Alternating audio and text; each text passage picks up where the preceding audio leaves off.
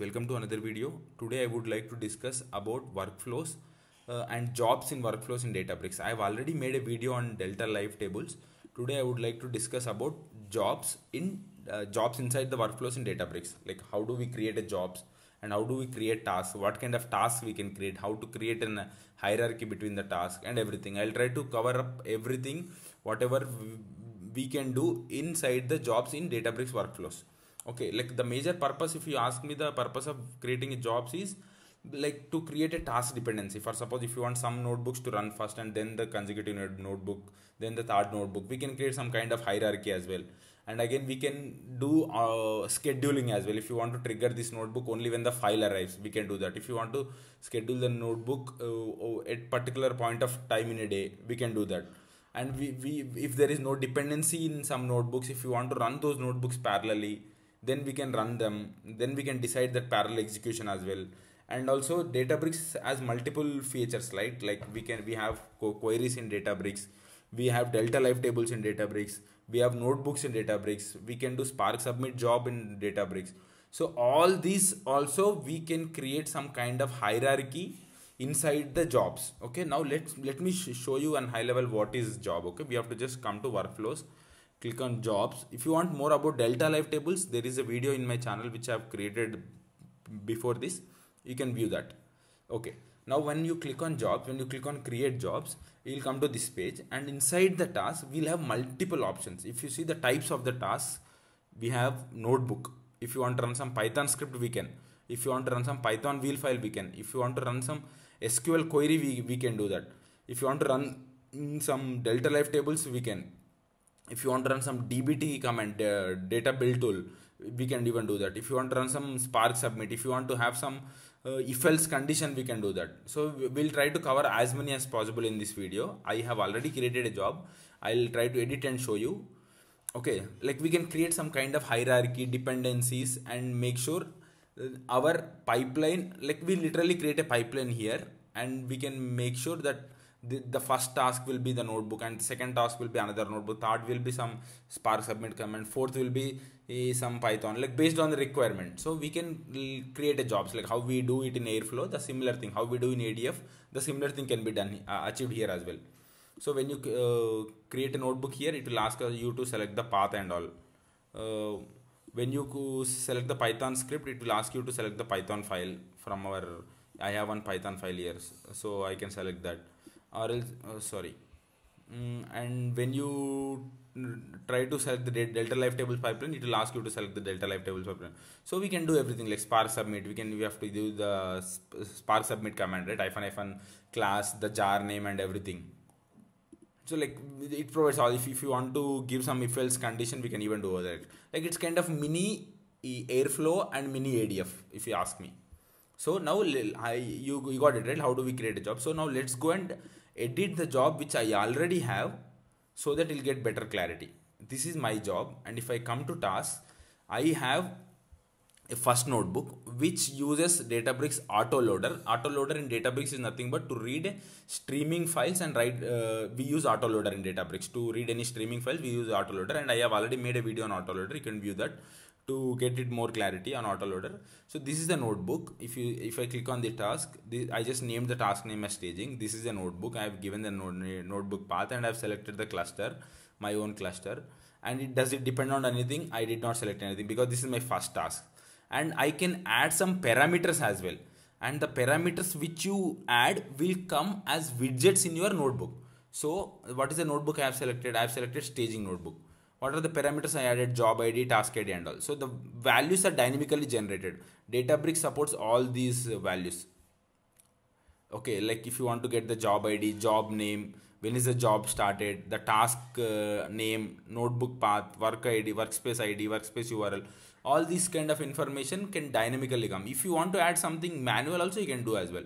If you ask me in name and you can pass something some kind of value but if you want to use some Databricks default uh, parameters, you can even use as well. So I'm taking three parameters. Uh, oh, sorry, this is wrong. I'm taking the, these three parameters and if you see my notebook, it comes, we have to read those three parameters, right? So we have to create a widget with the same key which we have created here.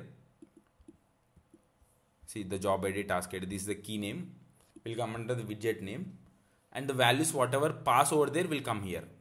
That's it. whatever we pass over there will come here. And we are not passing any hard coded values. Uh, we are passing the dynamic values which databricks provides. Okay like it really creates some unique run id it creates some task id it creates the start time date and everything. And also I, we can add notification as well. And also guys to tell you databricks supports all these kind of notifications. One is email teams slack uh, PagerDuty webhook like if you want to see, if for suppose if the job started and if you want to send an email you can do. During failure if you want to send an email you can do. To add notifications we have to just click on add here. This is retry sorry. I just if you remove this you will get add okay. When you click on add notification you have to select the destination. I already selected. I, I want uh, I already have the email option selected. So I'll select the new destination. For suppose if I want to uh, send a notification in my teams so we have to come here and we have to click on manage manage uh, and we have to add another destination here so if I want to select teams if I select here and webhook URL. In, in inside the teams, we can get the webhook URL so that we have to just paste it. It's kind of key or some configuration key between the, your Databricks and your teams. That's it. And when you create it, you will get it over there. You will get it here. That's it. You'll get the destination name here, and you can select when when do you want to send that notification during start or failure or anything. That's it. That's how we send the notifications. Okay. If you want to have any retries, we can just add add those like one time or two time or three time like how many retries you want you can do that for suppose if you want to throw a warning after some time you can do that for suppose if you want to throw a timeout error after some period of time you can even do that so this is this is what we are doing in the first notebook. I mean in the first task. Inside the job we create the task. So this is a notebook task. And my next one is also a notebook task which uh, i'm doing similarly. But if you see i have added a dependency here. Depends on the staging task. So i got this. Okay. If you just remove this they, they, they come parallel. So they run parallel. I just want dependency. That's it. And also when you select on the dependency when should it run? Only when succeeded or when failed or when all done. If you what is the difference between all done and all succeeded is like all done whether it fails or succeeds it does not matter and it executes the next one. That is called all done. Only when succeeded you have to select all succeeded. And the same parameters if you want to pass you can pass manually or what i have told you before. Like some databricks helps us uh, by providing few dynamic parameters like job details or the task unique identifier job unique identifier timestamp and all those things. Uh, that's it. The both both the tasks are notebooks only which is fine. Now if you see i have created another uh, two tasks which depends on a single task. How did i do?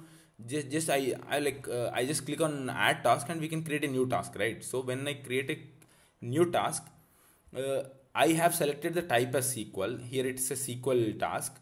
And also we need to uh, when you select the notebook see everything is gone. But when you select the sql it asks for the sql task. So we have to select the query. I want a query to run. So what is a query? So to create a queries, uh, we have to go to this option. We have to under queries just by clicking on it you can create a query. I have created a sample query, but uh, it just reads some select statement, but it won't run because I have a constraint. I can't use this uh, SQL warehouse cluster because I have limitations in my Azure account. So I, I it won't run. It might fail but that's okay the, the, i mean the overall intention is to show you how we can create an uh, how, how we can create a queries task as well in the jobs. We, we, we saw how we create notebooks. We saw how we can create query task, SQL query task. And now let's see how we can create if else uh, task as well. There is another task type called if else. If you see when you click on here, if else condition task is there, right? So let's see how this works. So if you see if else and what I am checking here, if you come here and I, I just want to check the status of my previous uh, task so i just got like what are the tasks i have? If you see here under tasks i have task dot staging task dot final layer. So i mean i am i can get the information of each and every of the previous task. So i just selected task dot final. I just want to check the status of the previous one alone. So task dot final layer dot I just want to check the status of my previous task alone. So I just selected this and I'm just checking if it is equal to success or if it is failure and if I want to run something else I can do. So I, I just I'm just checking the status of my previous like so the condition task is used to handle these kind of uh, scenarios where if you want to check some status of the previous uh, tasks something like that. So does it depend on anything? If I remove it, it becomes a parallel. Yes, it depends on the my final layer so it came here that's it so oh, it run only if the previous uh, all are succeeded. That's it. So now if i go to another task i this is just an another notebook similar to my first two. And if you see i am just running even a python script as well. I just want to show you how to create a task for the python script as well. So in the task type when you create add you just select the python script. That's how i have done. So i, I just gave the name of that and if you have to select the uh, source where is your python script? Is it in some git or is it in some workspace? It's in my workspace databricks workspace folder here. So i just selected that. Even for the notebook also we get the same option here. If is it in workspace or is it in git? It's in workspace. So i just selected that and i gave that path. And if i uh, and I, when do I want to run it? Only when the conditional task is failed. If you see here, when you come here, the output of the conditional task is true, uh, true and false. Only when it is failed, run this Python script. When it is succeeded, I want the other one. That's it. So when I come here, when it is succeeded, I want to run this one. When it is failed, I want to run this one. So this is how we create tasks inside the Databricks jobs there are multiple multiple task options inside the jobs like we, we can have notebooks python some spark submit command to run some sql queries delta live tables uh, and some if else conditions everything.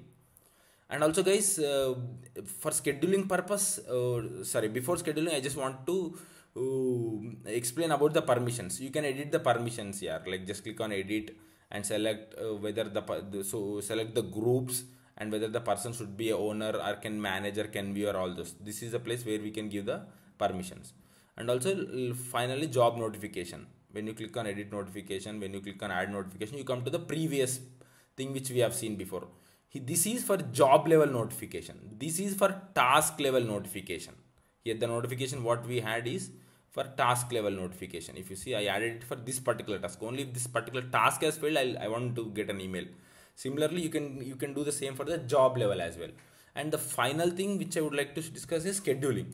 Databricks supports three types of uh, options here. For schedule and trigger it supports three. One is continuous. If you want to run it continuously this job if it is a streaming job and all. But mostly we use delta live tables for that. And second is scheduled. If you want to schedule it uh, see every every first day every second day every third day something like that. If you want more detailed at what time and all. That's it. Or, or else the second option is file arrival so whenever the file comes you want to trigger it. So i have selected the file arrival option. If you see i selected the file arrival and this is the volume path which i have given. And whenever any files lands into this path i want this databricks jobs to run. Okay? Now let's go.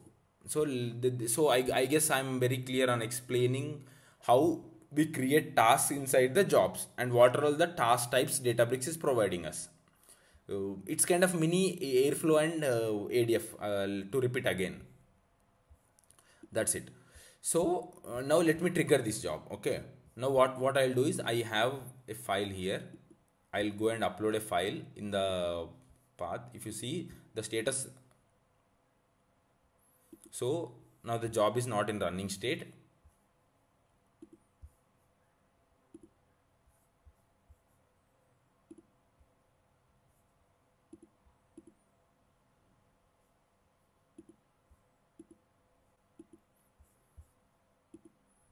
so now the job is not in running state.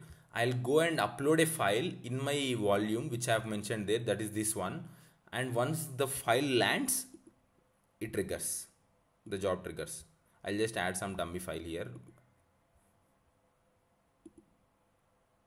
So we have successfully uploaded the file here.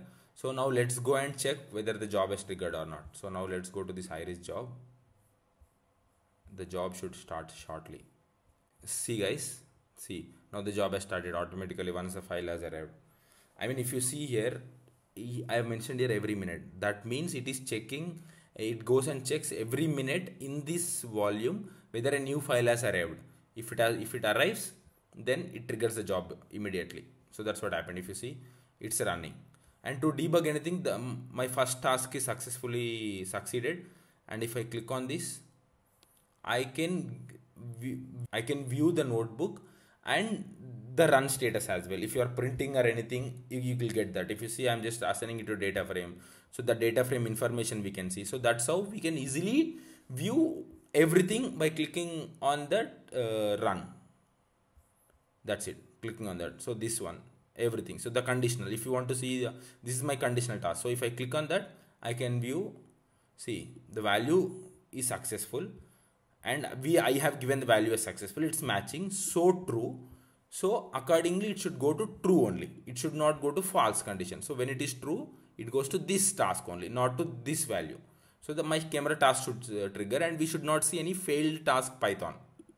Here if you come and see see if you see it's black color. That means excluded because its conditional dependency was not met. That's it. Because we got it as true. So the camera task is triggered so that's how we de debug by just clicking on the specific task we can go and view uh, the notebook or the python file or everything whatever we have given. Or else if you want to just give, view the logs just click on this and click on logs. That's it. It will take you to the log page. If you just click on this if you want to go to the spark ui page you can go there. If you want to view more details about this cluster you can view there. If you want to view logs uh, you can view the log page. Like here we get uh, driver logs std out logs and everything. That's how we can easily debug. That's it guys. Everything is run and one is skipped because of our if else condition. Thank you so much